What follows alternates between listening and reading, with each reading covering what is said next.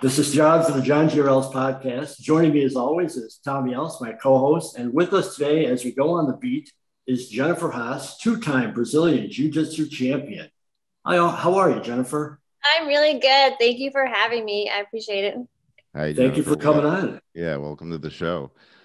Uh, John, John sort of told me about you and and and gave me a little bit of your background and everything and we were real excited to to bring you on and, and kind of share your story and, and your journey with uh, with our listeners. Yeah that'd be awesome. So he did say i was a two-time uh, world champion.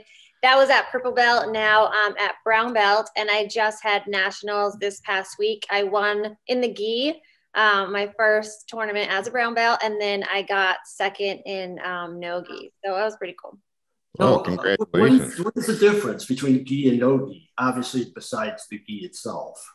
So, the, well, you wear the gi and you can use any grips you can get a hold of. So, like, I guess it would translate better to a street fight because you could use clothing as well. But like, you have the gi on, and then there's like lapel grips, there's pants grips. Like, you can just grip anything. Whereas no gi, you can't really grab their clothes and like twist it around them to choke it, to choke them. So wow. you, do you do you prefer either? You know, I really like nogi only because I'm lighter. Like the gi weighs a few pounds itself, and so I'm lighter and I feel quicker in nogi. But um, it's a lot easier for me to control someone in gi because I because I have that grip and I can maneuver them around and keep keep hold of them. How many years have you been uh, uh, competitive with this? So um, I've been training for about seven years. Uh, a little bit over seven years. And I started competing, gosh, as a white belt, probably I would say like seven months in, I think. Yeah. And so, yeah, totally, totally green, like competing. I remember my first competition. Um, it was it was a nogi and then the next day was gi and i think it was like my second match i stepped back and twisted my own ankle like my ankle Ooh. swelled up like a off and I didn't get on the podium the first day, and then the next day I'm like, I'm go like I don't care what I have to do, I'm gonna compete, and then I I actually won that one, so I got gold. I'm like, yeah, I, I just won't walk on it. I'll just like stay in place and it'll be fine. Wrap it up real tight, and I was good to go. Yeah, I've I've done uh, professional wrestling, and um, I'd say like ninety five percent of any injuries I've ever had was me like you know walking into a wall or something stupid like that. I mean, it's like it's never it's never come from in the ring. I've rolled my ankle walking and things like that. It's just it's never it's never the thing you think is gonna injure you. um, oh, it, I have the weirdest combination of like being super good with my balance, but then also like sometimes clumsy. Like I've I've tripped over my own feet and like like fell flat out, and so it's a strange combo. Now, what is your next step? You uh, training for a black belt. What do you need to do to get that black belt?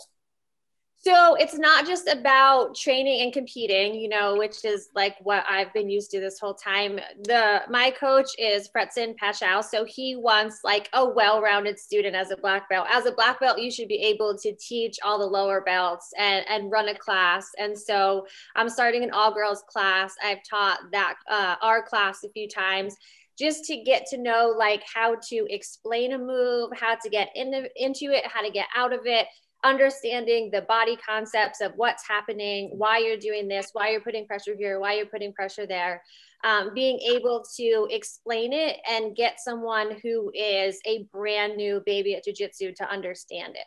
So I think just teaching classes has helped me. And then when I teach, um, I think with anything, like when you teach, you understand it better because as opposed to just going with what your body feels like, you have to break it down and you have to understand the concepts. So how- being totally well-rounded, like being a teacher, being a good student, being a good competitor, those are all things that he's going to look at when he feels it's time to, you know, award that black belt and stuff. I see. And how and how do you like teaching? I like it. Um, I I've gotten better at it. Like at first, I was like, I don't know how to explain this, but now that I've kind of broken down uh, it helps me understand better and i like it because i get a better knowledge coming out of it uh, of myself and my own body mechanics. So i actually appreciate teaching a lot. Yeah i i i've done some teaching with um with with someone with pro wrestling and it, it, and it's true that you know as you teach others it almost sharpens your own skills because you become so much more aware of you know the preciseness of what you're doing why you're doing it it's like you're you're sort of relearning yourself as you're teaching somebody else. So it, it's i think it's very rewarding to get to do that yeah and it definitely develops patience because sometimes like I mean, I know when he's explained moves to me, sometimes it's like, whoosh, and I, oh, sure, you know, yeah. and so now I kind of have the other side, like, oh, like, yeah. obviously, like I can't just say the same thing over and over again because it's not gonna translate to someone. Like, you have to come up with a different way and try and explain it in a way they're gonna understand it, which is going to be different for everyone. Absolutely. Now, is this something that you wanted to do when you were uh, when you were very young, when you were growing up? Were you athletic? Did you foresee doing this? Well, when I was young, I think I was athletic. Um, I did gymnastics uh, and I skated uh, artistically, competitively. So um, I was always physically active. I cheered through high school. Um, and I kept the gymnastic background pretty good. Like I was able to do some stunts on my own um, during cheer, not like backflips with no hands and stuff, but mm. like basic stuff. Yeah, yeah. Because I hadn't trained since I was like 12 or something. But then in my town, like it was such a small town, the only thing there was was karate. And so I took karate for a number of years, got to brown belt in karate. And it was like a mix of like boxing and karate. So I we did stand up, like to get our belt test, we had to do um, a certain number of rounds stand up. So I, I, was able to do that, but there was nowhere to train jujitsu w- when I was in Pennsylvania. so uh, yeah, I was going to ask about that. Where where are you from? Where did you grow up? So originally, I'm from Pennsylvania. It's Reading. It's like an hour and 15 minutes outside of Philly. So mm-hmm. like I grew out grew up in a small town outside of there. So like my elementary school, high school, college were all in like a three mile vicinity. Like, oh wow, know, everyone knew each other and, tiny, tiny town. And so, what is uh, what does your family think about uh, about you doing this? Um, we always were a physically active family. Like my uncles actually started it before I did, and so my two older uncles used to roll all the time. And because uh, then, as time went on, we all moved out. Like my entire family moved out to Las Vegas, um, and then some of them moved back. So by that time, there was jujitsu schools opening up. Uh, mm-hmm. they had to travel pretty far, but there was one they went to, and so they actually started taking it before I did, and so then finally I started taking it and I, rolled with them a few times and you know I didn't know anything and they were able to teach me stuff. So it's pretty cool, but like our whole family is, is very athletic. We're always in the gym and stuff like that. Well, that's cool. Well, how did you develop your submission move or do you do different submission moves depending on your opponent? it you know i try not to think about what i want to go with like if i'm learning a move sometimes i will focus on trying to get into that move and trying to get that submission done in training. But when i'm in competition my mind's like totally blank. I will just go wherever my body feels i don't even think about it. Like my body just goes and whatever whatever comes. I usually get in uh, i have a very active guard so like and i'm flexible so triangles tend to get there a lot um, but then if I don't get that, like I transition to omoplata. So it, it just kind of depends where I'm at. Like this last one in Nogi, I was down on points and then I was able to get like her foot. I tried, I tried a knee bar. I was too far down on her leg. And then I tried like a toe hold, but ran out of time. So kind of whatever I see. And then I'm like, oh yeah, that. And then I just kind of go in for the kill, but Yeah, I would think that would make sense. You if you go in with a predetermined plan and it doesn't apply to the opponent and the situation, it's not going to serve you at all. So you'd have to yeah. go in and, and just feel them out. Um, so you uh, you're now taking an interest in pro wrestling, I understand. Yeah, so I actually my biological father was uh, Tito Santana. What is Tito Santana? He wrestled as yeah. Tito Santana so um, when I did an interview, they had asked if I'd like to try out pro wrestling, and I was like, "Yeah, I mean, I'm always into trying new things." So I had my first session. I learned some stuff, like we ran the ropes, which um, you know I probably didn't look that great doing. I was, but aside from that, like the rolls were pretty good. Uh, mm-hmm. I worked on bumps, which that is going to take a little bit more practice too. But I had a few ones that were really good. Uh, so today actually is going to be my second session, and we'll see. Hopefully, I've improved a little bit. But it, I mean, it's super fun. It's super fun, and I it, it was a really good workout. So can I ask how you felt when you took your first bump? Because that can be kind of a scary notion of just throwing yourself backwards. I mean, yeah, did... it was so like they had they had me practice just from like sitting and then yeah. Myself back. So I did that a bunch of times until I kind of got the knack. I mean, I don't have the knack, but like uh, the best it, it was gonna get that day. Sure. And yeah. then kind of doing it from a squat. And so for a second, I could feel myself tense up and I'm like, oh, and it was oh, like from a squat, like you're not falling back very far at all, you know, but still like just the concept of throwing yourself backward kind yeah. of. Yeah. I, I, I try to explain that to people that it's just, it's such a mental block you got to get past. It's just not natural for you to, to do that. And because I started similarly holding the the second rope, you know, yeah. knees bent, and then kick back into the into the bump. But then when you go that little that couple extra feet up to a standing position suddenly seems like a much bigger fall. it does they they had me like run the ropes and then the very last one like uh do it from standing mm-hmm. And some of them i just totally like i totally chickened out on some. I'm like oh i could uh, and then like it, it was horrible. Like one leg went up the other one didn't. Like it, it was it was a hot mess but hopefully it'll be better well with with time you get to a point where you'll do it without even thinking about it. It's just in the beginning it that's that's very common though. I that's why i was asking the, about the first bumps because that honestly is really the scariest part of the whole thing. Everything else is much is is is real easy to just kind of you know accept and and work into but the bumping is you know that that can be a little mentally challenging to to get past um so i thought i saw uh where did you have your first session at um super beast training compound okay all right. And that's in Vegas, right? Yeah, that's in Vegas. Okay. And that's and you're going to be training there from now on? No, I'm actually not training there. There's uh, another one we found. I think um, I actually don't know the location yet, but we'll, we'll see today. So my trainer has it. Good, good. What do you hope to gain, or how far or where would you like to take wrestling?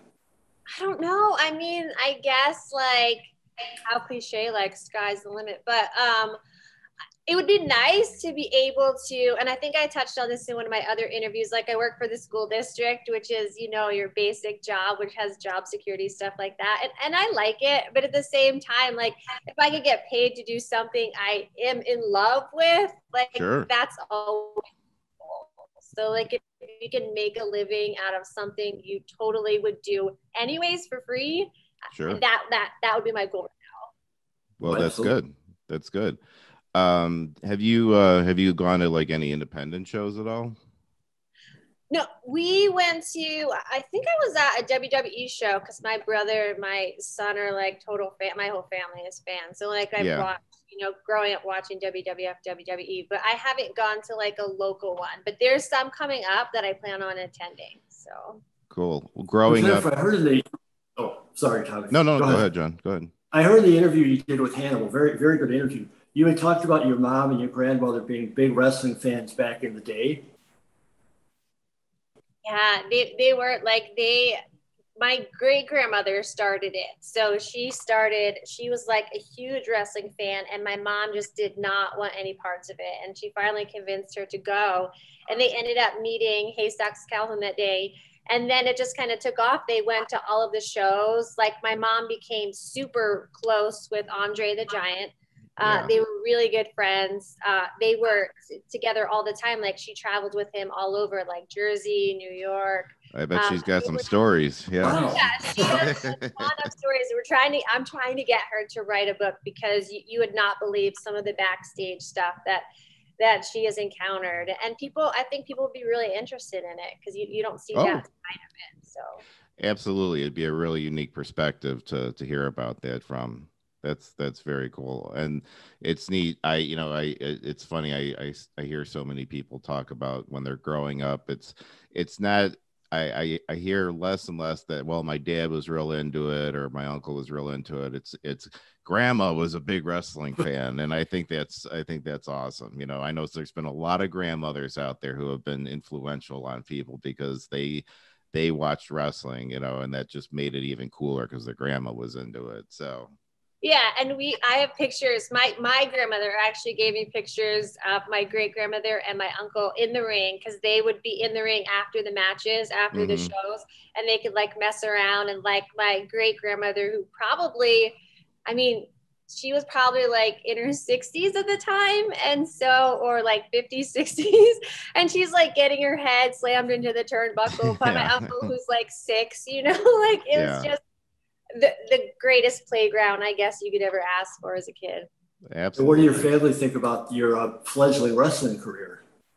Me, I mean, they're excited. They're they always support me in whatever I decide to do. So they always, you know, want the updates, and they're like, as long as you know your your body can take it. I think that's the biggest thing like mm. wrestlers put such a strain on their body and you know jiu-jitsu does that too to, to a certain extent but as long as you know i stay healthy and and just do what is in my ability to do and not not go crazy until i get the foundation. Absolutely.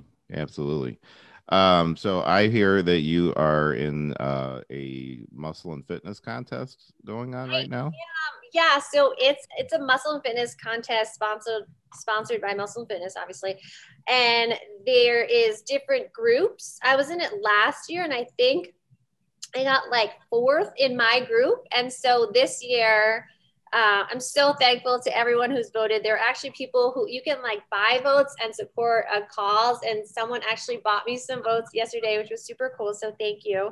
Um, but I'm actually second, or when I checked last, I was second in my group. And so they narrow it down. I think it started with like 30 girls, and then it was cut to like 15. Today, maybe it goes to 10, and then it goes to five, and then it's like three, two, one. And then once you get the winner of your group, then the winner of all the groups start a big group again, and then go back down, and then they cut them out.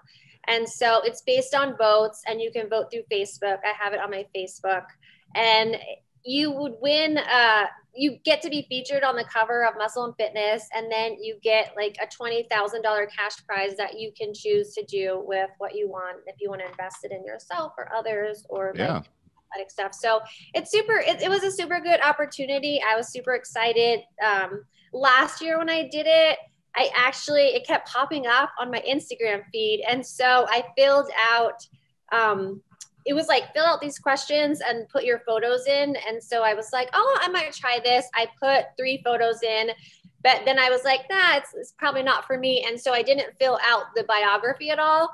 And then the contest started. I was in the contest and I'm like, wait a second, I never even finished the application. And so you already have started, a shot. I was yeah. like, well, I better get on board yeah. so, and then I did pretty well. So it was, you know, kind of encouraging. So I was like, yeah, I'm gonna do it this year. You know, got the questions before the contest started and stuff like that. So, so what, you, you, told, you, told, a funny story though on the one interview how um, somebody you would you were talking to one of your friends about voting and he kind of chided you and said, you know, that you shouldn't be asking for votes, which I think is totally ridiculous. I think you should totally ask for votes. We support that completely.